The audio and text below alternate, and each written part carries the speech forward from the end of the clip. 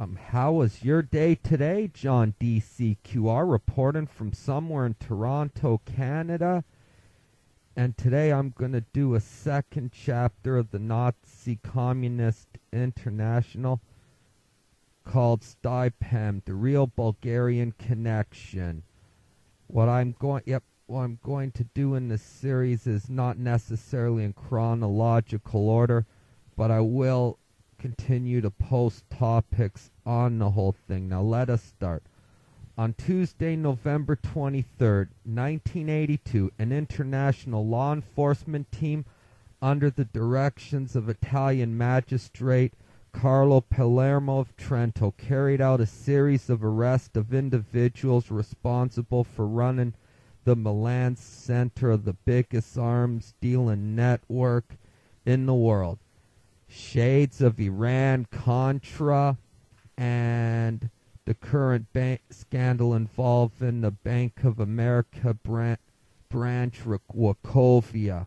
According to Palermo and other Trento magistrates, at a press conference the following day. The eight arrests marked a dramatic climax of a three year investigation during which it was discovered that the Milan based firm Stipam International Transports was the channel through which huge quantities of arms were shipped to bands of terrorists and integrists throughout the Middle East. The standard form of barter for the arms, hashish, heroin, and other drugs principally produced in the Golden Crescent region of Iran, Pakistan, and Afghanistan. Yes, you know, it's pretty much the same thing that's happening today. By the time the dust had settled on the Stipam bust, more had been unearthed than even a multi-billion dollar arms for dope ring. At the very heart of the Stipam operation was the arrangement between top government and family channels in the East and West to share in the revenues and political power of Dope Inc. As the, as the direct result of the Stipam bust, the Bulgarian connection to the assassination plot against Pope John Paul II was demonstrated. As a result of the Stipam revelations, the marriage between the ruling families of the East, such as Bulgaria's Zhivkov dynasty, and the oligarchical fondi of Central Europe and Britain, and of course, America, such as the Braganza clan and the Duke of Kent, most disgustingly flaunted in the black market bazaars of Varna, Istanbul, Sofia, Palermo, Trieste, and London. Weaving in and out of this mosaic of guns, narcotics, and political assassins, we find the ever present shadow of the Nazi Communist International. And another person that should be mentioned and note is Larry Abramoff. He was involved, not only was involved in the Stipam International Transport, but he was also involved in all the other arms and drug scandals, which some of it came out under the guise of Plamegate. And Abramoff was convicted in around 2006 but that's a topic for another discussion. The, the history of the case. An undated report issued in the fall of 1984 by the chief of the Strategic Intelligence Section of the U.S. Drug Enforcement Administration provides a history of the Stipam International Transport case and the plot to assassinate Pope John Paul II. According to the document, the involvement of the People's Republic of Bulgaria in international narcotics trafficking, a high-level defector from the Bulgarian State Security Service, KDS, codenamed Sverdlev S-V-E-R-D-L-E-V, had told U.S. intelligence of a 1967 meeting in Moscow the Warsaw Pact security service chiefs to develop plans to exploit and hasten the inherent corruption of Western society. It isn't that, you know, the West needed much help. Look at the current financial mess today. A subsequent meeting of KDS officials in Sofia, Bulgaria, established a three-year action plan to implement the exploitation. According to a sh- uh, sh- uh, sh- uh, I'm having trouble pronouncing Sir Serdlev, a KDS directive was issued on June 1970 assessing the status of the East Bloc plan to destabilize Western society through the narcotics trade. How would this Moscow ordered opium war be carried out? According to the same DEA document in 1968, through the Bulgarian government funded Kintex, the official import export agency of the communist state. Of course, it would late that that company would later be called Globus. But let's, you know, dis, yeah, let's discuss the detail in the report. Kintex is structured as an umbrella organization which orchestrates the trafficking of contraband through Bulgaria. Kintex had, has been identified as the principal narcotics and weapons shipping agency. Other government agencies have been identified as operating in conjunction with Kintex, prim primarily as distribution outlets. Each of these agencies reportedly is headed by Bulgarian state security officials. Hmm. The Americans have the same cut, you know, cut out organization that involves arms and dope. It just happens to be called Israel. But moving on. Among the distribution outlets identified by the U.S., Turkish, and Italian authorities were Intercommerce, DAP-EK, and Balkan Tours. Balkan Tours, the official Bulgarian news bureau, gained instant notoriety on, on November 25, 1982 just two days after the Stipam raid, when Sergei Ivan Ivanov Antonov, an official of Bulgarian Airlines, posted as the deputy director of, of the Office of Balkan Tours in Rome, was arrested by Italian magistrate Ilario Martella and charged in a conspiracy to assassinate the Pope. From its inception, Kintex went about implementing its criminal mandate with a degree of thoroughness and ruthlessness that marks the East Bloc security services. Lists of sanctioned clients in the West, arms smuggling rings, narcotics trafficking organizations, and terrorist cells spanning the neo-Nazi right to the anarchist left were accumulated and screened. Preferred safe locations, usually nondescript hotels and bars in Sofia, were established as havens for black market transactions. Evidence suggests that Kintex's worldwide dope for arms dealing were run top down through a chain of command running back to the Dzerzhinsky uh, Square headquarters of the Soviet KGB in Moscow. And you could probably trace it down to Langley in Virginia, which I will talk about shortly.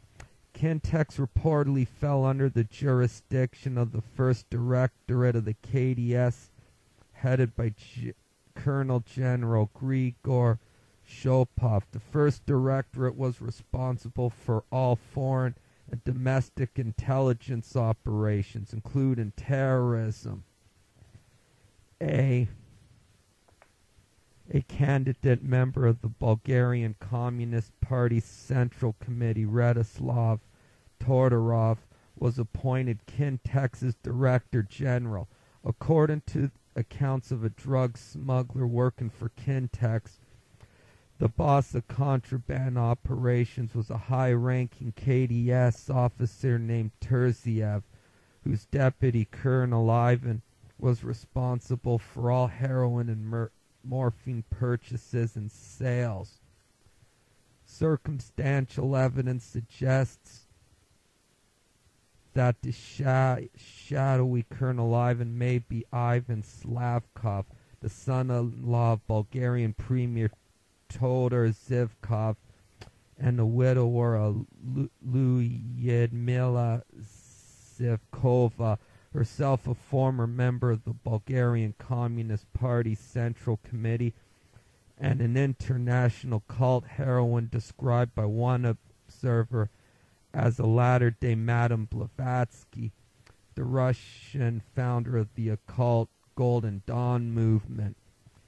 And she certainly had, yes, and predictably, she probably, just like Blavatsky, she's probably had connections to uh, British and Russian intelligence or Masonic handlers, but that, that would be a topic for another discussion. The former director of Bulgarian television and head of the Bulgarian National Olympics Committee, Slavkov, is widely identified as the liaison between Kintex and the drug mafias of Latin America and the Caribbean. Hmm.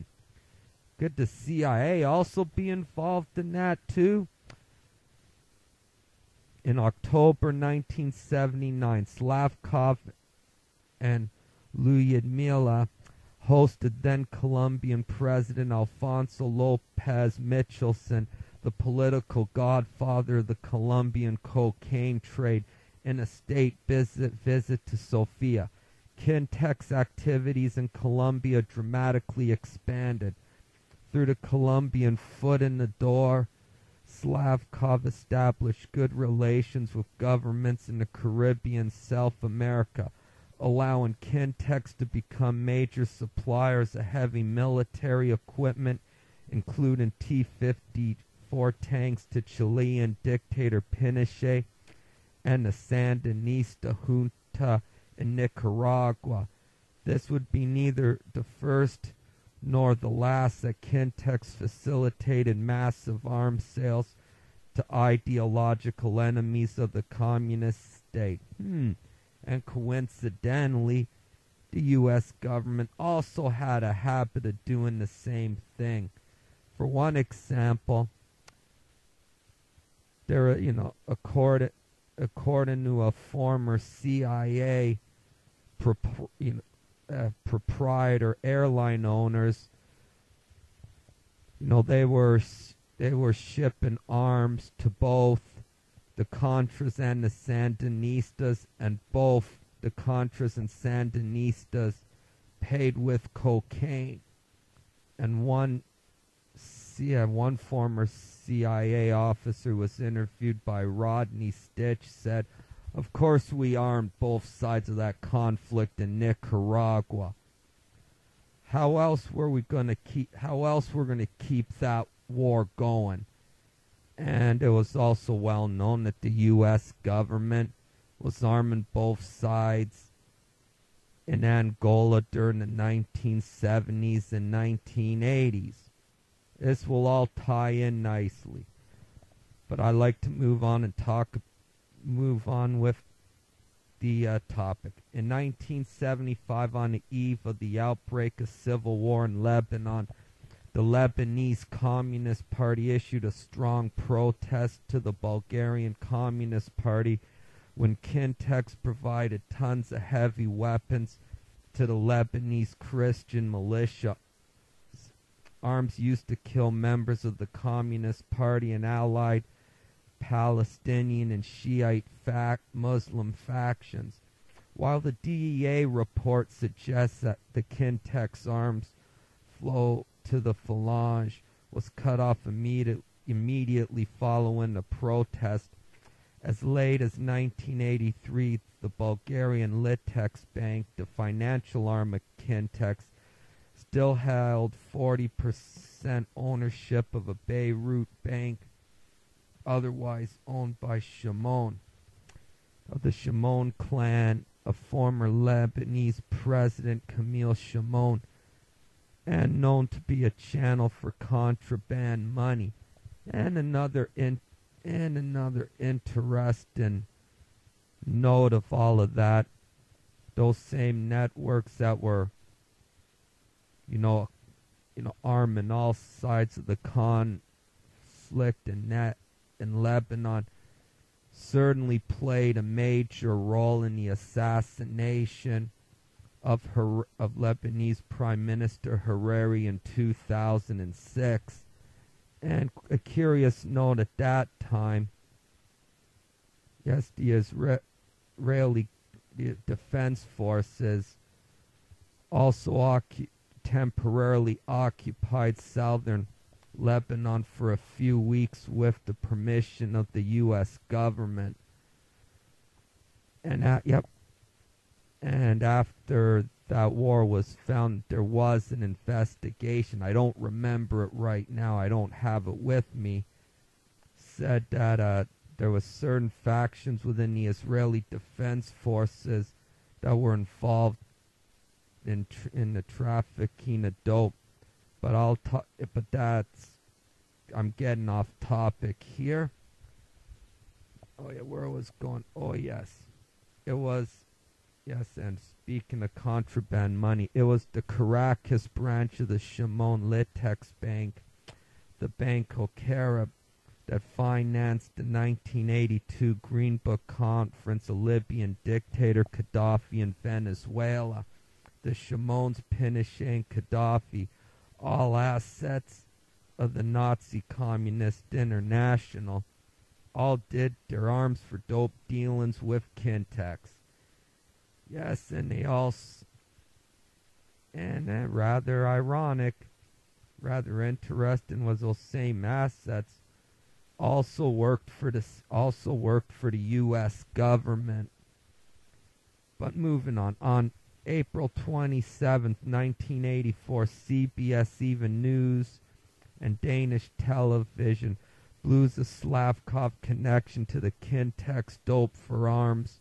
Bizarre. Slavkov was identified as the mediator between Kintex official Dynef and a Miami, Florida based West German dealer Peter Malak in arms deals to yet another ideological foe of Sofia in Moscow, the Republic of South Africa. The transaction exposed by Danish television involved over a hundred thousand weapons, including rocket launchers, rifles, grenades, mines, all manufactured in the Soviet Union. Yes, and with them, yes, and those plants were built with American help. Get the uh, get the book, uh, "The Best Enemy Money Can Buy" by Anthony Sutton. He goes into considerable detail about that. In a letter dated April 26, 1979, from Malak to Dynef, the Miami-based smuggler stated, I can deliver the required electronic material. However, as the material is under embargo, it'll take at least three months to deliver. Payment for the consignment may be made in part in heroin or morphine base. The Danish TV broadcast credited Slavkov with the delivery of 6,000 tons of Russian military hardware to South America. Now we're going to talk about an interesting character called Henri Arsan. When Italian authorities raided the offices of Stipam International at Milan's Via Alfredi II and arrested the firm's president Henri Arsan, a Syrian national, one of the key back channels between Britain's Dope Inc. Directorate and Kintex Bulgarian connection was blown sky high. And I would imagine the station, the CIA station chief in Rome at the time was talking to William Casey for a considerable amount of time. The, the Stipam headquarters occupied a good portion of a building owned by Banco Ambrosiano. Ambrosiano's branch 18 occupied the ground floor, and the floor below Stipam contained the residence of Roberto Rosone, deputy chairman of the bank until ah, until his dismissal seven several months before the Milan raid and days after bank president Roberto Calvi was found dead hanging from Blackfriars Bridge in London. The Stipam Ambrosiano connection opened up a Pandora's box leading from a propaganda due secret Masonic lodge founded by Italian ex-Gestapo spy Licio Gelli back to London where the Duke of Kent presided over the Grandmother Lodge of Scottish Rite Freemasonry. The same lodge that directed Britain's opium war policy for two centuries and that and that chartered P2 predecessor Lodge Mazzini's Propaganda Uno. When Judge Palermo's raiding party completed a search of Via Alfredi Due, they carted off three suitcases filled with documents. The documents consisted mostly of telex transactions during the 16 years of Stipam's activities message sent by Arsan to and from Milan, New, Milan, New York, Istanbul, Beirut, Damascus, and Saigon. Through them, the tight links between Stipam and, and Ambrosiano were reportedly reconstructed. We shall return shortly to the Ambrosiano propaganda due and London connections of Stipam's Henri Arsan it is first necessary to tug further at the Bulgarian string we began unraveling with the 1968 Fountain of Kintex. According to the already cited DEA document, by no later than 1971, Henri Arsan had been provided with a rent-free villa in Sofia courtesy of Kintex. A known and respected trafficker in morphine, Arsan had been one of the principal dope suppliers to the notorious French Connection. By the mid-1970s, however, the French Connection was no more. Many of the key players, former Vichyites, integrated into Francois Genoud's post-war Nazi international through the Union Corse and the OAS were either dead or behind bars. Christian David, for example, the number two man in the Montevideo centered Golden Triangle heroin ring was in prison in Leavenworth, Kansas. Yeah, curious place to be imprisoned. He had been identified as the organizer of the 1960s assassination of Moroccan opposition leader Ben Barka, a job carried out by the Genoud Nazi International.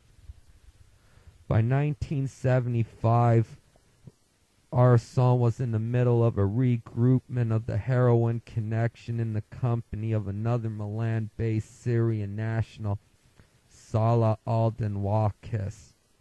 Wakis was the designated Milan representative of the Turkish mafia working in league with an old French connection partner of Arsan syndicate boss Gerlando Alberti.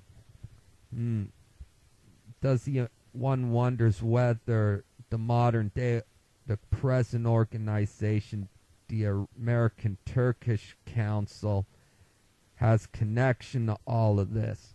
According to Judge Palermo, the Bertie Walkus ring sorted out drugs entering Italy from Turkey using money that often came from kidnappings and other criminal activities. And depositing funds in accounts in banks in New York, Zurich, Frankfurt, and London.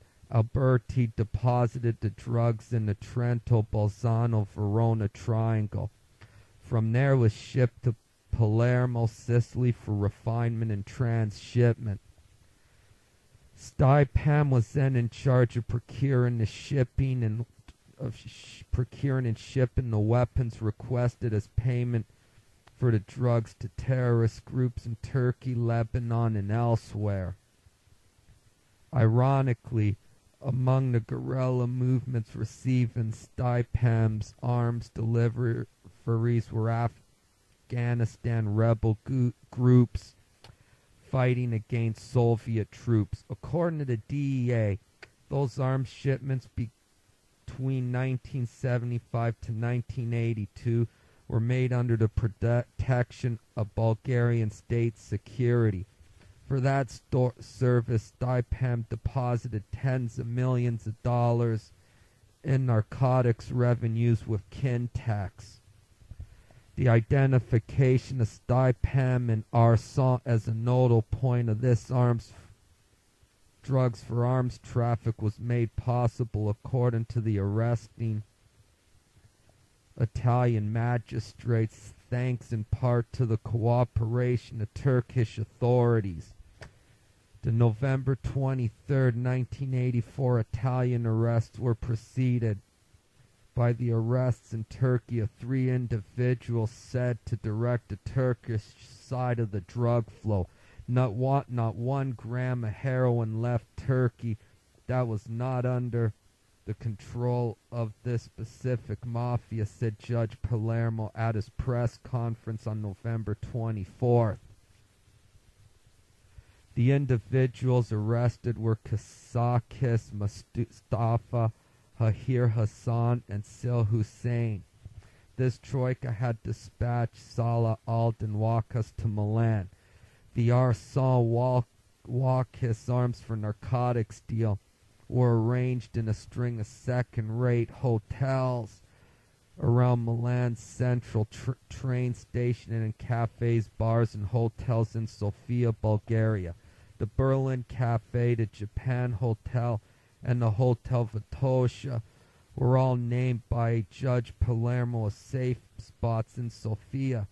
Palermo himself traveled on several occasions to Sofia to personally observe dope for arms transactions at the Berlin Cafe. And now, and now, yes, and now another character enters into the picture. Mohammed Ali Yadka. Had Judge Palermo been on one of his covert forays to Sofia in the summer of 1980, he might have stumbled upon a neo-Nazi assassin and drug mule for the Turkish mafia who discreetly checked into the Hotel Vitosha.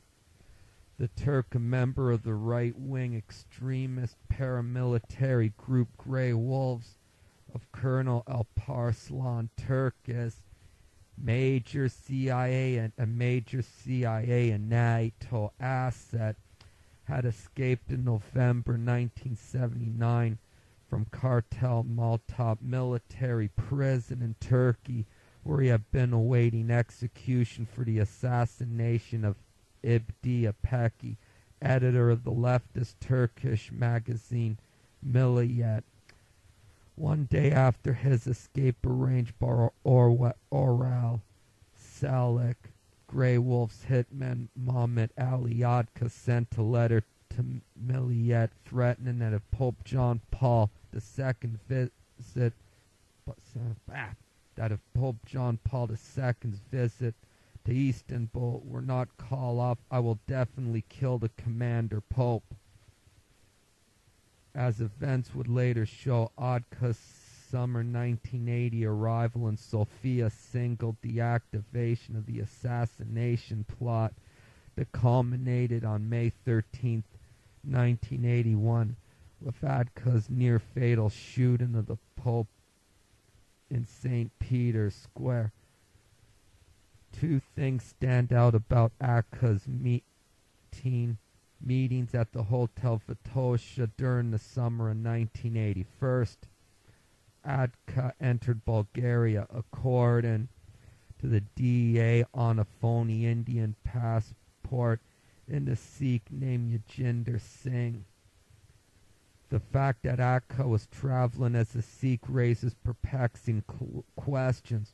Was there also a Bulgarian connection to the more recent brutal assassination of Indian Prime Minister Indira Gandhi by Sikh members of her own security force?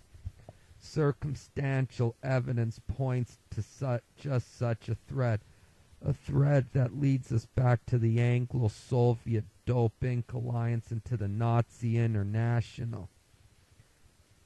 According to reports published in the Indian media at the time of Indian Army siege of the Indian Army siege of the Golden Temple, the Sikh shrine which had been taken over by fanatical fundamentalist Sikhs. Some of the Sikh terrorists were believed to have fled to city of Amritsar aboard Bulgarian Airlines planes. The Punjab region, which the Sikh fanatics seek to turn into a separate, independent, quasi-religious state of Khalistan, has been the center of opium production in India. The places to seek insur- that places to seek insurgents in the orbit of the Golden Crescent opium r- routes known to be part of the Bulgarian connection. Even more to the point, Jad Jagjit Singh Chauhan, head of the Khalistan separatist movement and self-avowed author of the Gandhi assassination, is a shared was a shared derivative derivative asset of the Soviet intelligence service, British secret intelligence, and the Swiss Nazi International, and most certainly the CIA. Until late 1968, the year Kintex was formed, Chauhan was finance minister of the Punjab province. At that time, following a series of pilgrimages to Tashkent in the Soviet Union, the center of the KGB's Islamic division, Chauhan resigned his post with the Indian government and began agitating for an independent Khalistan.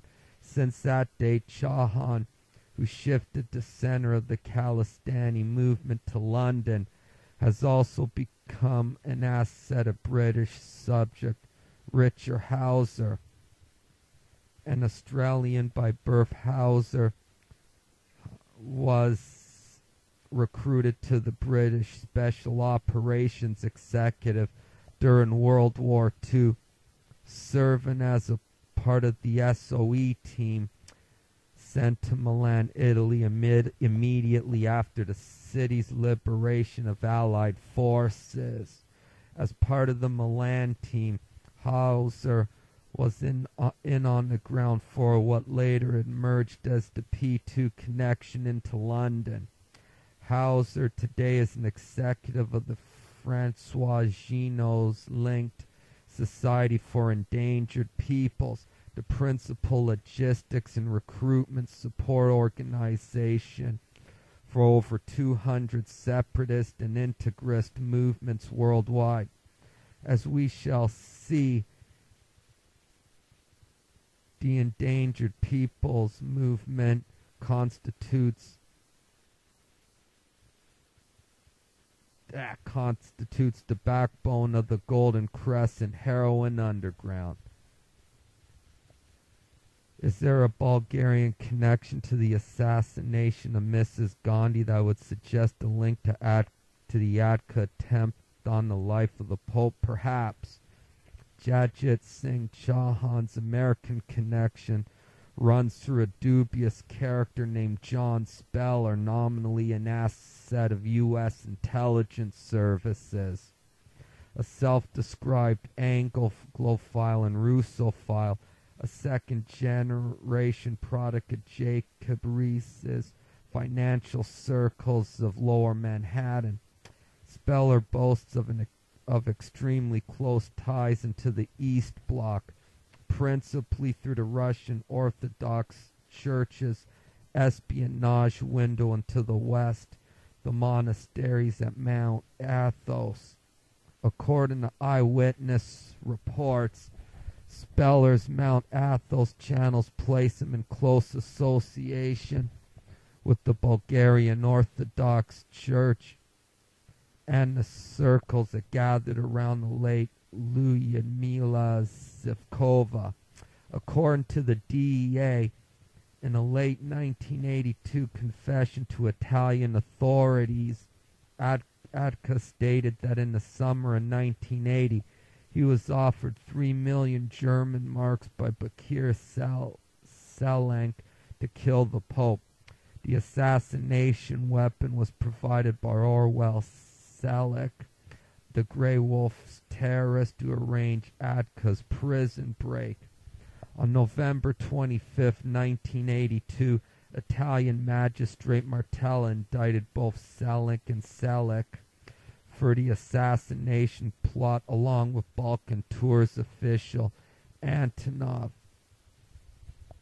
According to Turkish government records, Salek was a mafia boss in the Turkish mafia sought by Turkish officials since 1977 for fiscal fraud and illegal flight capital.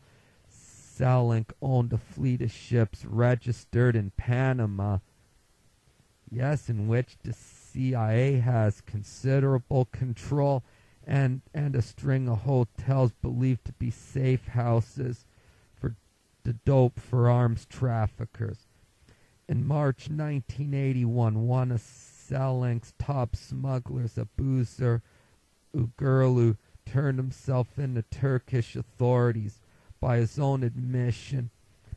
Uğurlu was an employee of Kintex functioning as a liaison between the Turkish mafia heroin connection and the Milan-based Stipam International and syndicate chief chief chieftain ah fuck I'm having trouble speaking today and syndicate chieftain Gerlando Alberti among Uğurlu's assignments was the delivery of bribes to former Turkish customs ministers in order to secure deployment of corrupt customs officials to posts along the Turk Bulgarian-Turkish border, assuring the safe passage of arms and narcotics.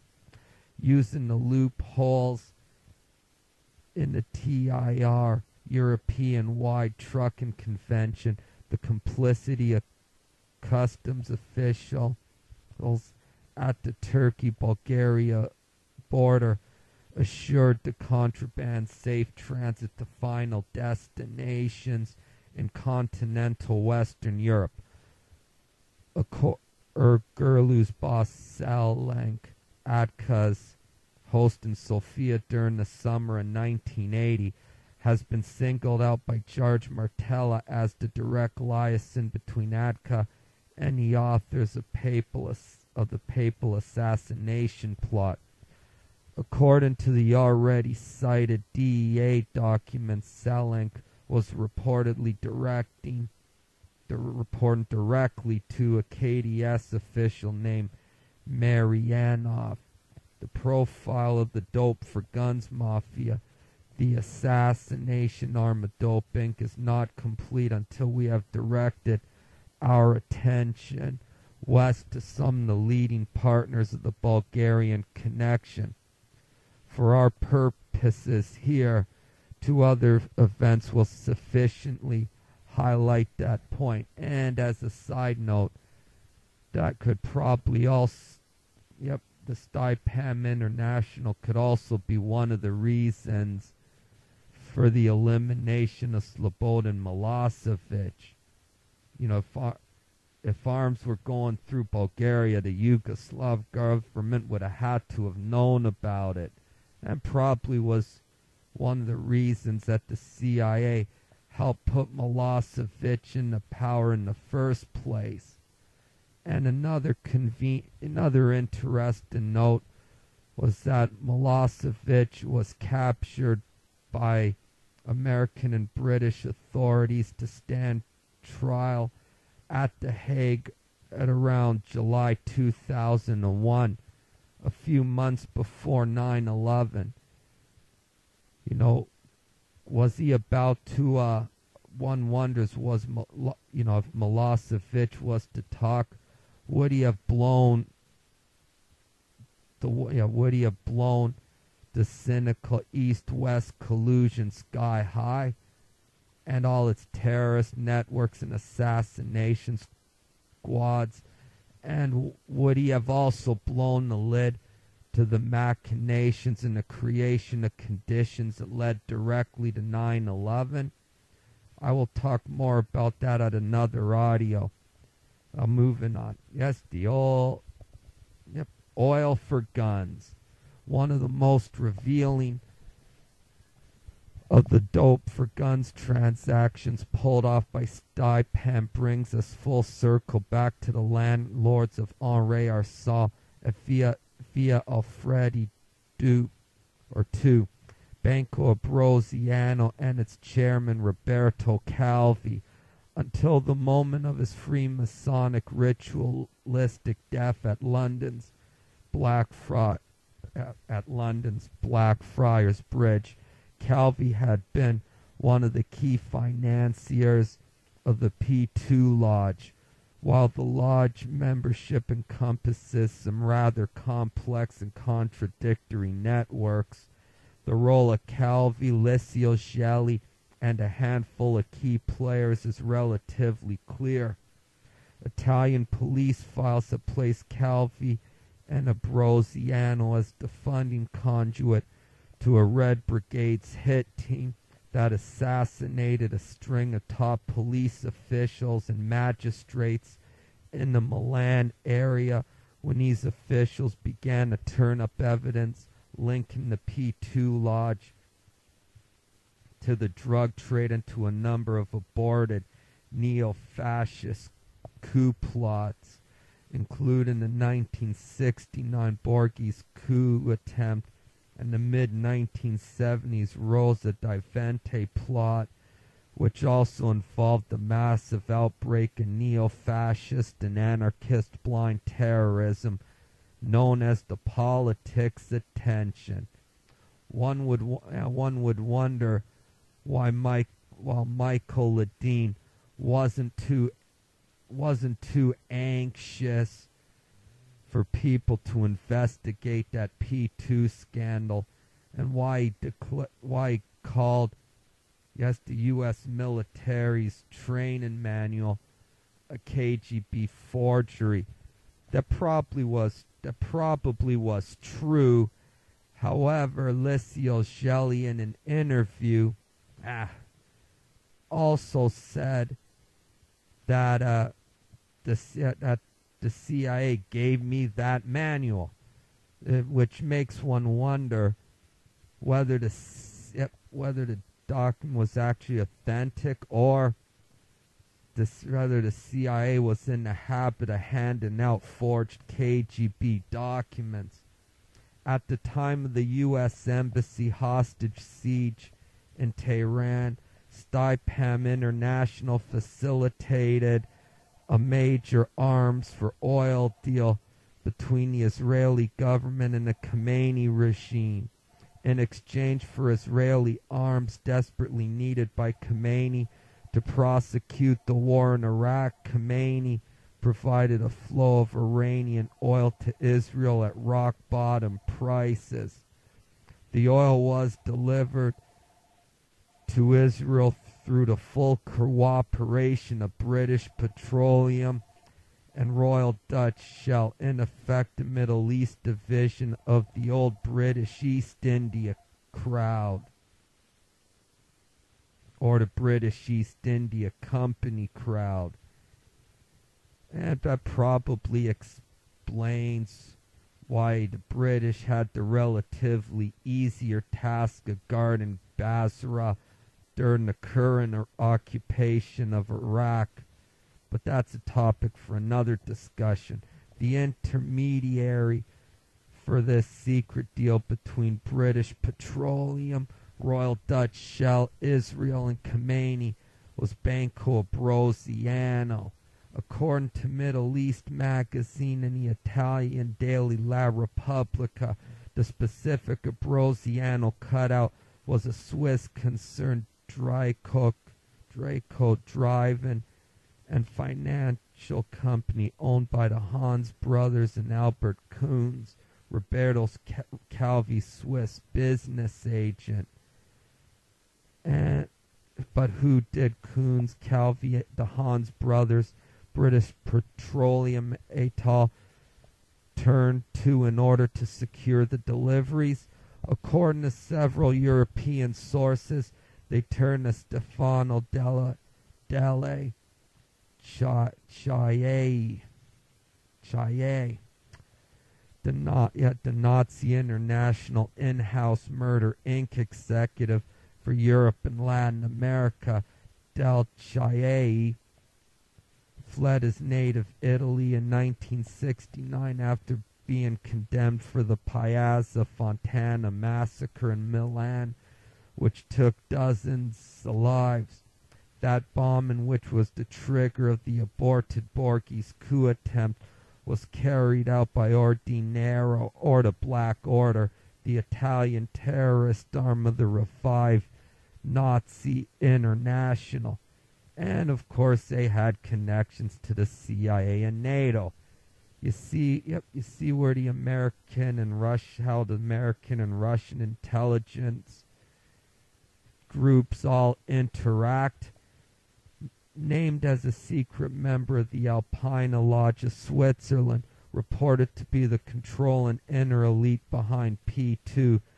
Della Chaillet was at a meeting at, of the Alpina Lodge somewhere in Uruguay in early 1980 in which he was ordered to carry out a bombing attack against a train station in Bologna. That bombing claimed over 80 lives and over 200 injuries.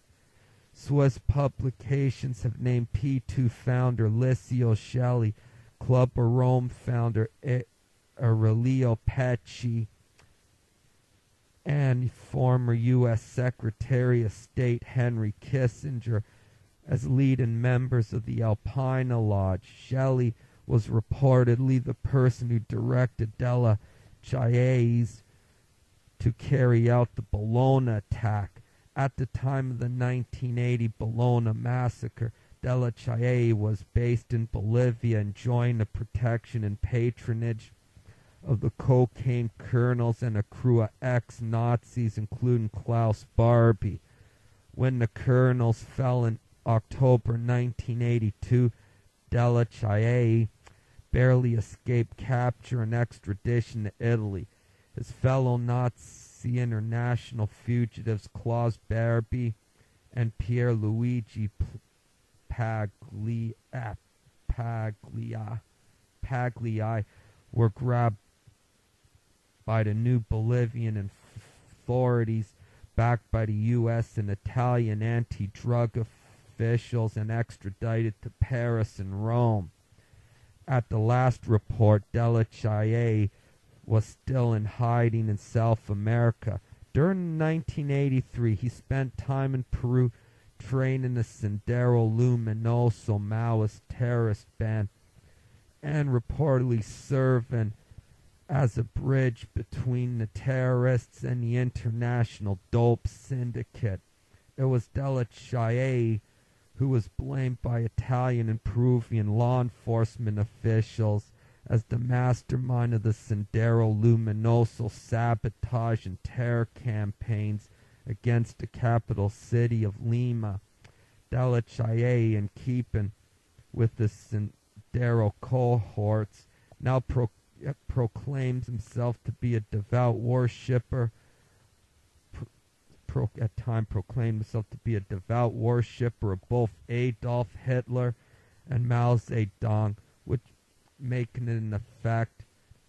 So yeah, in the situation concerning Peru during the 1980s, the CIA was in effect arming and tr- providing logistics for Sendero Luminoso And even more interesting, it was it was the Soviet Union through through the Cuban military. That was providing advice and training to the Peruvian government, and there were Peruvian government officials that were also selling Stinger missile, American Stinger missiles to the Sendero Luminoso. So, in, to the Sendero Luminoso, an interesting book to read is called The Profits of War by Ari Ben Manash. He goes into greater detail about this. How we go it with another so-called right-wing terrorist group called Tradition, Family, and pa- and Property, or Tradition, Family, and Patricide. On May 13, 1982, one year to the day after Muhammad Ali Atka's attempted assassination of Pope John Paul II in St. Peter's Square, a Spanish priest linked to a fanatical right-wing movement within the Catholic Church attempted to stab the Pope to death as he conducted a mass over the statue of the Virgin of Fatima in Portugal. Juan Fernandez Krohn, a follower of the fundamentalist Archbishop Lefebvre, Lefebvre, and an agent of the tradition, family, and property quasi-terrorist group had been groomed for nearly a year. As Atka had been to assassinate the pontiff on a most symbolic occasion, the celebration of the third vision of Fatima, a vision that proclaims the re-Christianization of Russia and the crowning of Moscow as the third Rome seat of a world empire. This vision, which to Russian believers signifies Russian world domination, has been dramatically put forward in the Western Church as a portent of the end of the communist rule in Russia.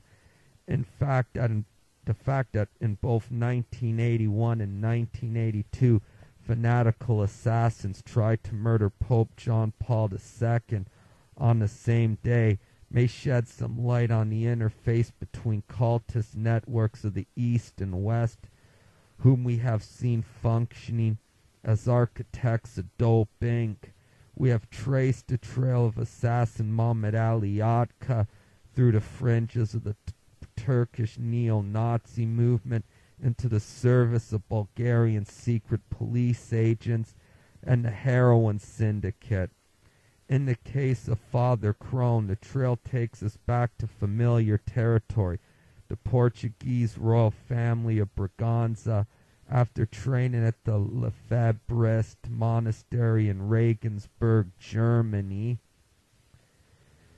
Krohn was drawn into the TFP, traveling throughout Spain, Portugal, and Brazil. Krohn was provided with terrorist training and weapons and logistics backup through the TFP group. The Golden back to the Golden Crescent. In 1978 in, in 1978 Ayatollah Khomeini was still living in exile in Paris. The Soviet Union had not tried to absorb Afghanistan in its territorial grab bag no, instead, instead it's the Americans are that are it's the American and NATO forces that are occupying it. The Indian subcontinent had not yet been racked with separatist intrigues. The center of world opium production was still in the Golden Triangle region of Southeast Asia. Within two years, dramatic changes occurred. According to the best available statistics, as the integrist insurgency swept through Western Asia, a new opium production zone encompassing the mountainous regions of Khomeini's Iran, Russian-occupied Afghanistan, and an increasingly fragmented Pakistan had taken a huge share of the world market. According to Drug Enforcement Administration estimates generated by a special investigative program, Project Cerberus opi- opium production in the Golden Crescent by 1980 had reached a level of 500 tons per year, nearly triple the production of the Southeast Asian region. Instead of the old Canadian Pacific and Jardine Matheson routes out of the Golden Triangle, a new heroin trail was suddenly being cut from Iran, Afghanistan, Pakistan, into Turkey through the Iron Curtain into Bulgaria, Yugoslavia, and back into Western Europe at the Bolzano-Venice corridor in northern Italy and at every step along the way the new warlords of the Society for Endangered Peoples and Nazi Francois Genoud and the Bulgarian connection were running the show on the ground.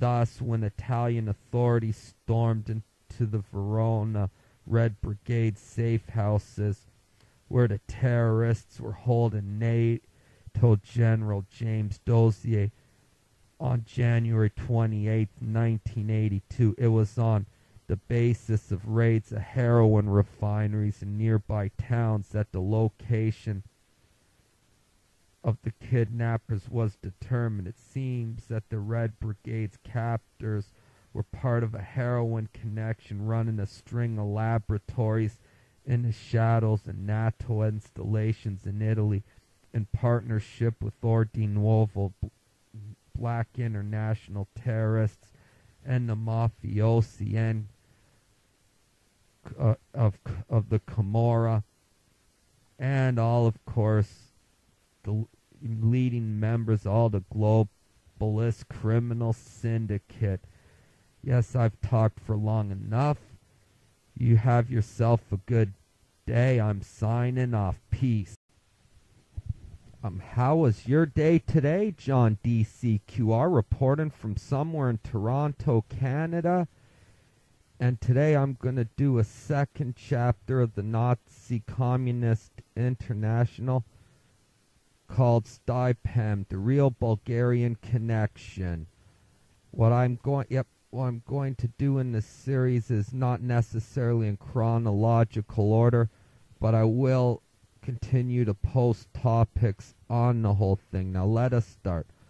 On Tuesday, November 23rd, 1982, an international law enforcement team under the directions of Italian magistrate Carlo Palermo of Trento carried out a series of arrests of individuals responsible for running the Milan center of the biggest arms dealing network in the world.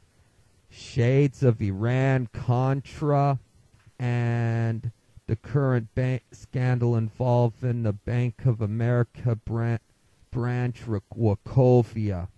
According to Palermo and other Trento magistrates at a press conference the following day, the eight arrests marked a dramatic climax of a three-year investigation during which it was discovered that the Milan-based firm of Stipam International Transports was the channel through which huge quantities of arms were shipped to bands of terrorists and integrists throughout the Middle East.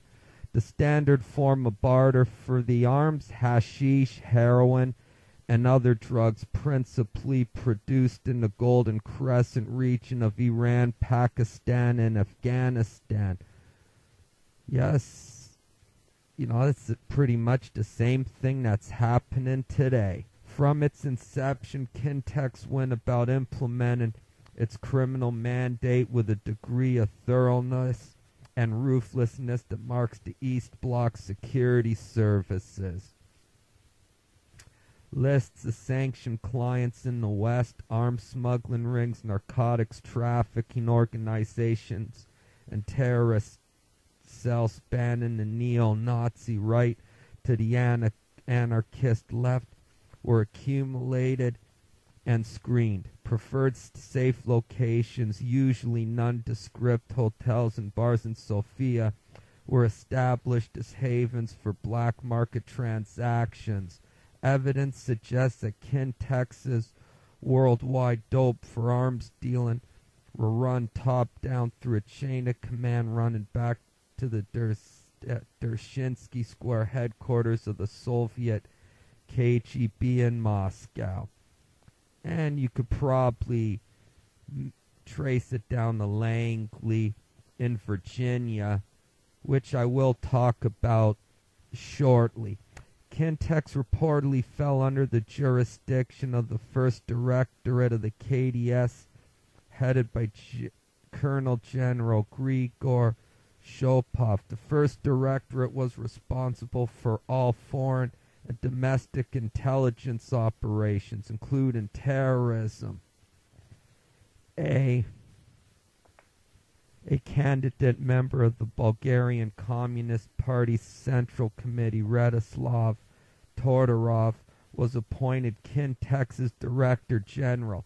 According to accounts of a drug smuggler working for Kintex, the boss of contraband operations was a high-ranking KDS officer named Terziev, whose deputy Colonel Ivan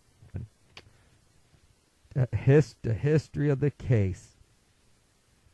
An undated report issued in the fall of 1984 by the chief of the Strategic Intelligence Section of the U.S. Drug Enforcement Administration provides a history of the Stipam International transport case and the plot to assassinate Pope John Paul II. According to the document, the involvement of the People's Republic of Bulgaria in international narcotics trafficking, a high-level defector from the Bulgarian State Security Service, KDS, codenamed Sverdlev, S-V-E-R-D-L-E-V, had told U.S. intelligence of a 1967 meeting in Moscow, the Warsaw Pact Security Service chiefs to develop plans to exploit and hasten the inherent corruption of Western society.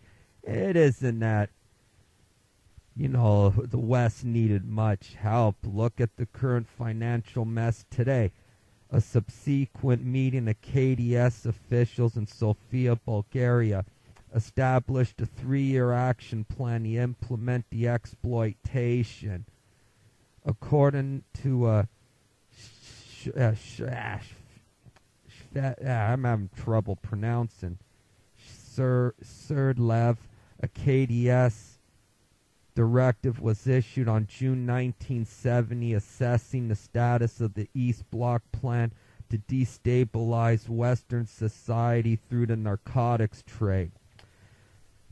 How would this Moscow ordered oh, opium war be carried out?